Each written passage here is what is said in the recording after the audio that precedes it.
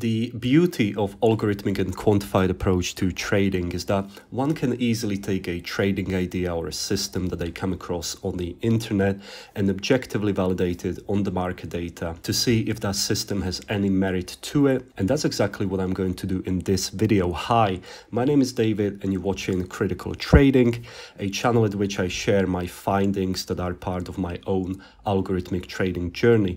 If you're in the same boat and are looking for quantified trading ideas and tips, then consider subscribing to my channel. Now, as a part of my ongoing research, I came across an extremely simple seasonality trading edge in US stocks. Yes, you heard that right. There exists an underlying seasonality tendency in stocks as well, so not just the commodities. This tendency is commonly known as the end of the month effect and has been known in this trading arena for years. Essentially, US equities have shown a historical tendency to go up at the end of the month. This is predominantly driven by various big institutions such as various pension funds rebalancing their stock holdings as at the end of the month and because these institutions are mostly long only it kind of creates this temporary uh, appreciation of stocks at the end of the month. And I believe this is something that can be used as a basis of a systematic trading strategy, such as the one I will share in today's video. Before I do that,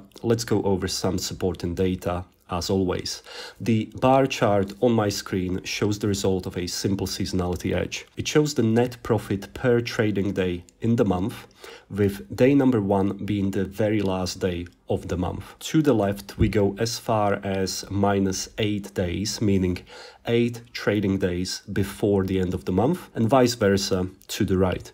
The vertical bars then show the aggregate profit if we just bought the US stock market on that day exiting on the following day. So what we're trying to understand here is whether some days in a month have shown to be more profitable than others.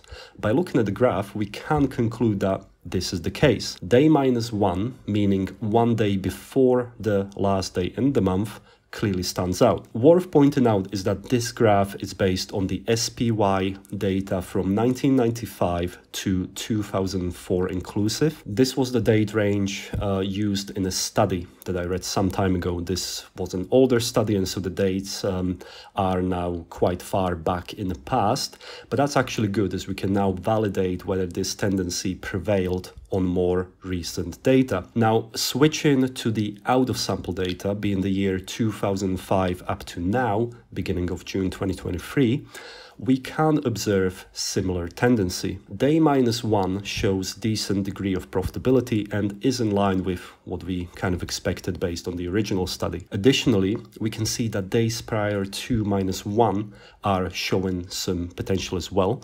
So let's convert this into a simple trading system. The code snippet on my screen comes from the trading system development software that I use that is called AmiBroker, in which the buy and sell rule based on this seasonality edge can be written over literally two lines. So what I've decided to go for is to have an entry window that would start from day minus three and end on day plus two. On the exit side, I'm going to use one of my most favorite price action exits where today's closing price is above yesterday's high. Now, this becomes a little bit clearer if we visualize it. The indicator below my price chart visualizes this time window in which we enter based on the seasonality tendency. In this case, we would start taking trades here on the day that's just been highlighted by the vertical marker up to this day plus two of the new month. After that, we would wait until the next seasonality trading window, which would be the following month starting here and again ending here. All entries and exits are made at close, which would mean that you need to execute your trades at close using the last uh, closing price of that day. And that can easily be done using Python, for example, which is how I do it myself. Also worth pointing out is that there could be multiple successive entries and exits within the same seasonality window. And that's all there's to it. Now, let's have a look at the performance. Green equity curve is the simple seasonality system trading ETF SPY trading commissions are included. The orange equity curve is the buy and hold of the same ETF. This seasonality edge, um, despite being known for years, has shown very decent um, out of sample performance and could definitely be used to trade. I trade a variation of this myself. Now, looking at the equity curves doesn't really do the justice here. So let's have a look at some more metrics. The average annual gain is almost comparable. The metric that's important here is the time in the market. How much time is the capital being exposed in the market because the strategy is in a trade. Now, obviously with buy and hold, um, this would be at 100% because you just buy the SPY and hold it. But with this strategy, it's only about 40%. So if we then normalize the annual return by time spent in the market, the risk adjusted return